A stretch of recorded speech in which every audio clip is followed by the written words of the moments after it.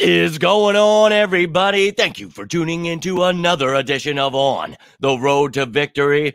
I am Jimmy Smith, and I am losing my mind today.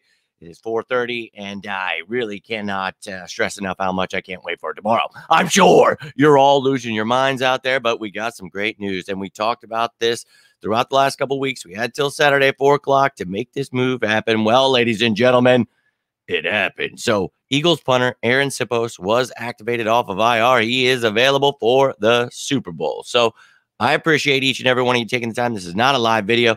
Just wanted to get this information out to you. Going to have the practice squad elevations, all that stuff shortly here right after this video given to you guys. So let me know your thoughts on Arryn Siposs here, but I want to show you now with him back on the roster. Had someone ask me, you know, who are we going to release? Josh Sills was placed on the commissioner exempt list. We have an open roster spot. I talked about this. Maybe we carry two punters into the Super Bowl. Makes sense if something were to happen to Siposs.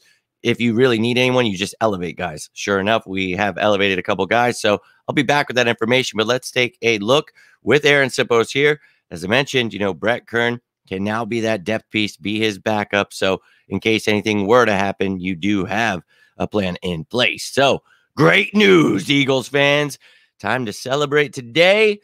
Little pregame celebration because tomorrow it's about to get wild. Now, I will have that practice squad information for you here shortly, and I will be live tonight for a little Super Bowl celebration. So, hope to see you then.